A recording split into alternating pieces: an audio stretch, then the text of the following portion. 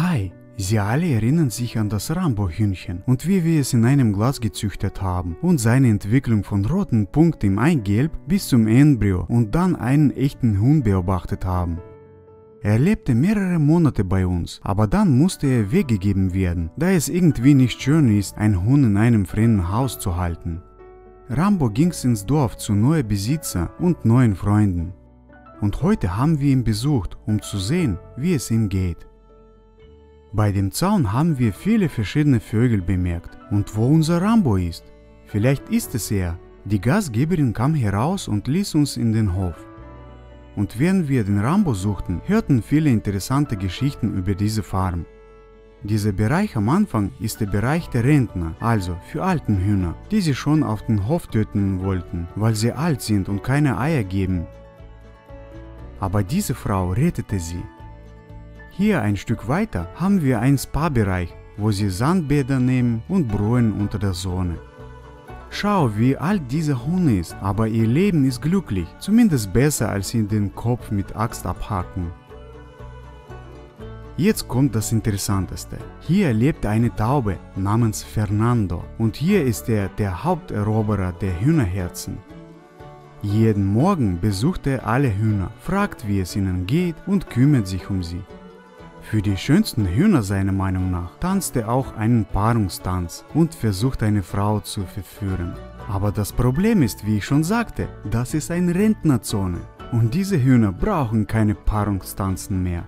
Hey, hübsches Mädchen, willst du heute Abend etwas Spaß haben? So, ich bin 84 Jahre alt. Okay, kein Problem. Und du, Schöne? Mädels, wer von euch? Gott, wieder diese Wahnsinnige! Er ist so von dieser Romanze mitgerissen und sobald er ein Huhn sieht, das im Dünger versunken war, anstatt zu helfen, beginnt eine Paarung zu tanzen vor ihr.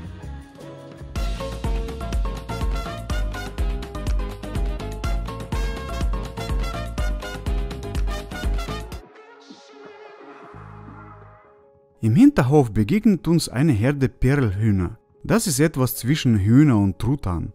Und hier ist eine Herde Gänse. Und schaut mal genau hin. Siehst du was Seltsames hier? Ja, es gibt ein Perlhuhn in der Herde.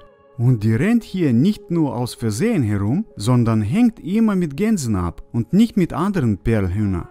Die Besitzerin sagt, dass dieser Perlhuhn seine ganze Zeit nur mit Gänsen verbringt. Wahrscheinlich aufgrund eines Kindheitstraumas oder einer Fehlfunktion des Gehirns begann sie zu denken, dass sie eine Gans ist und seitdem läuft sie nur mit sie und glaubt, dass sie Anführerin ist. Die Gänse nahmen sie auf, ließen sie laufen, weil sie nicht stört. Das sind Truthähne. Obwohl sie äußerlich nicht die schönsten sind, sind sie von innen sehr freundlich und nett.